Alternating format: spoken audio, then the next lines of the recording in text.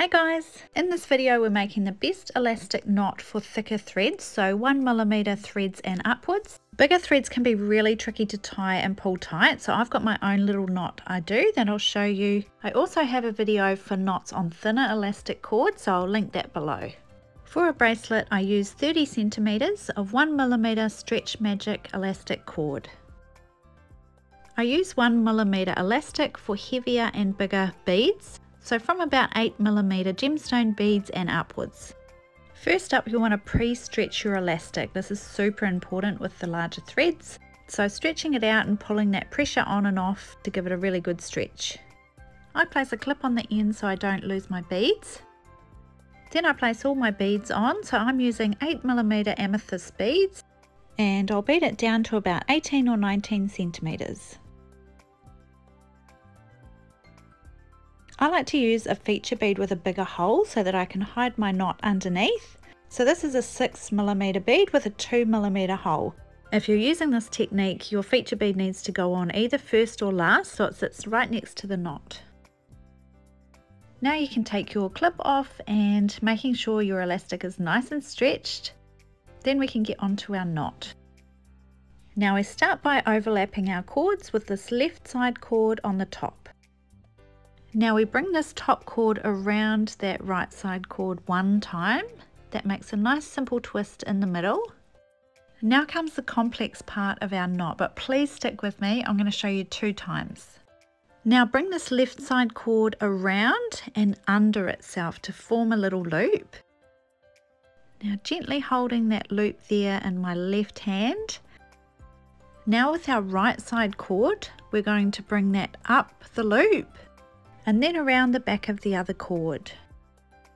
It's a little bit fiddly but try and hold that loop in place and bring this cord around the back of that other cord and then place it back down the loop. So it's quite simple but it is quite fiddly. It is actually a bowline knot if you know how to tie one of those. So you've got quite a complex little knot now and we've got this little twist down underneath. So we want to try and gently pull this original twist down so there's no slack in your elastic. And then we can gently pull this top more complex knot down onto that original twist. Pulling that knot down nice and tight and working with it until it's secure. I'll just show you the knot again quickly. So starting with your left side cord on the top and then bringing it around that right side cord once to form a twist. Now position yourself so you can bring this left side cord around and under itself to form a loop. Holding that gently, then with our right side cord, we bring it up the loop, around the back of the other cord, and then place it back down the loop. And then pulling your knot down nice and tight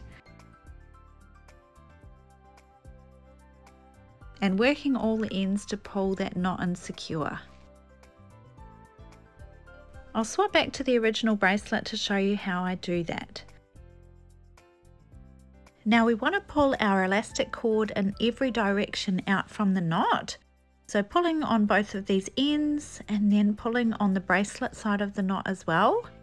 Working that knot gently and pulsing that pressure to work a little bit through the knot.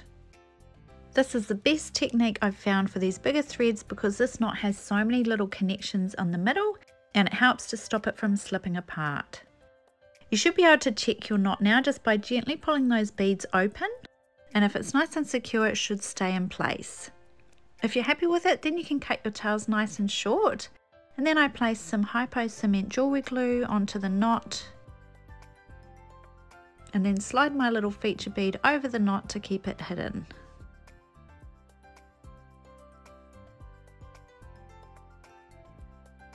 And there's your best knot for using on thicker elastic cord.